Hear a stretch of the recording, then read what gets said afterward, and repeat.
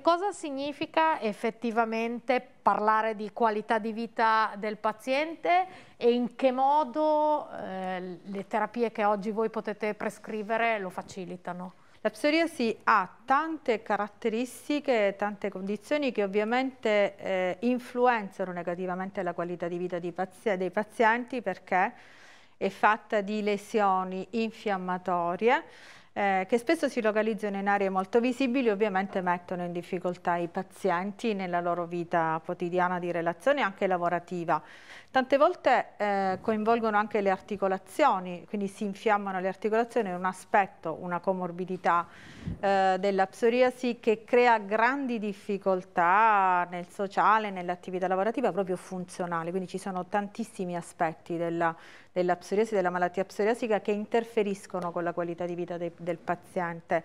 La psoriasi ha dei sintomi, viene riferita dai pazienti con dei sintomi ben specifici, cioè il, il prurito, ma tante volte quando l'infiammazione che caratterizza la psoriasi è particolarmente evidente, il paziente ti riferisce bruciore e dolore proprio a livello della pelle o anche a livello delle articolazioni. Ed è ovvio che tutto questo non può che condizionare fortemente la, la qualità di vita del paziente. Dottor Viola, quanto è invalidante la psoriasi per, per un paziente che ne è affetto? E, e, ehm, quanto questo viene anche riconosciuto no, a livello istituzionale? Invalidante per il paziente tantissimo, tantissimo perché eh, la prima forma di difesa eh, della persona che si sente eh, danneggiata dal punto di vista estetico è quello di isolarsi, per cui vita sociale fine. Eh, per cui la fatigue di cui parlava eh, il dottor Piaserico mh, emerge anche nel fatto di arrivare a casa e non sognare altro che stare nel proprio cantuccino nascosti lì raggomitolati davanti alla televisione e non fare più assolutamente niente.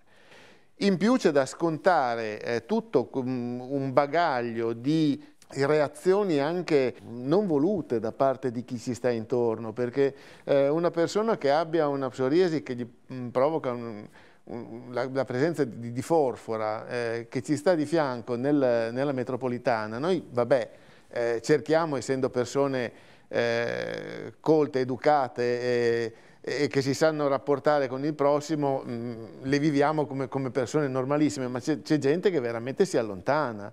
C'è gente che ancora adesso la prima domanda che ti pone, se ti vede con delle chiazze di psoriasi su una mano, ma è contagioso. Per cui mm, pensate eh, quanto può essere invalidante. Dal punto di vista del riconoscimento invece eh, eh, sociale è sostanzialmente molto basso perché eh, addirittura mh, mm, eh, nelle commissioni di invalidità un dermatologo non c'è mai. Eh, non la, la, psoriasi non è tra le malattie tabellate, ehm, termine eh, brutto, ma purtroppo i legislatori parlano in questo modo, cioè non, non è tra le patologie elencate tra quelle che possono dare una percentuale di invalidità, e non solo, ma non ci sono neanche patologie che siano più o meno assimilabili. Una persona che abbia una psoriasi sulle mani e che faccia un lavoro eh, tipo il panettiere, smette di lavorare e non ha nessun riconoscimento perché, eh, perché non c'è. Quindi la situazione è veramente molto drammatica.